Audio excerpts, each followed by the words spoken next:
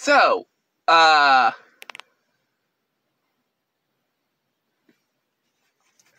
Twenty sixteen was a good year for myself, to be honest. Well, sort of a good year, cause why? Cause we had Spider-Man in the MCU, AJ Styles in WWE. Well, Karl Anderson and Luke Gallows. Yes. Um, Kung Fu Panda 3 and all that. But here's the good part. We had two Illuminations in movies. One was The Secret Life of Pets, which we're about to get to in a few seconds. And the other is Sing,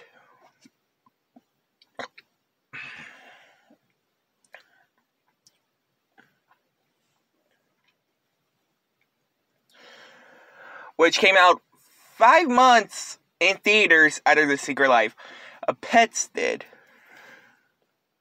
Now let's get to The Secret Life of Pets now. So,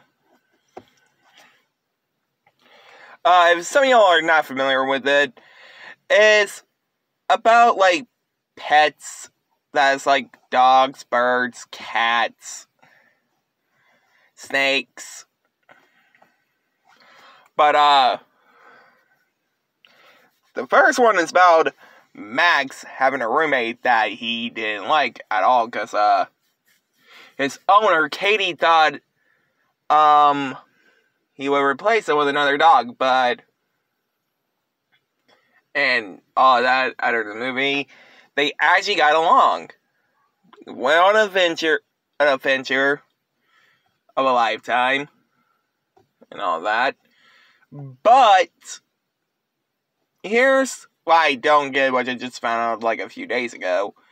Some people said that movie was a ripoff to Toy Story. The first Toy Story movie with